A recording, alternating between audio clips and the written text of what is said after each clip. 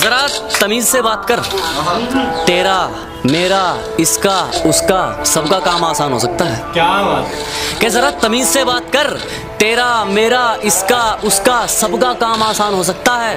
और जितना पूछा गया है सिर्फ़ उतना जवाब दे। ज़्यादा सफ़ाई देगा तो नुकसान हो सकता है। हर जगह अपनी नहीं चलाते। कहना मान लेना चाहिए अपने बाप का। अजी हर जगह दादागिरी नहीं। कहना मान लेना चाहिए अपने बाप का। कोशिश करें कि हम ना बिगड़े, वरना हुलिया बिगड़ जाएगा आपका। सब फरेबी हैं, किससे जारी रखूँ मैं?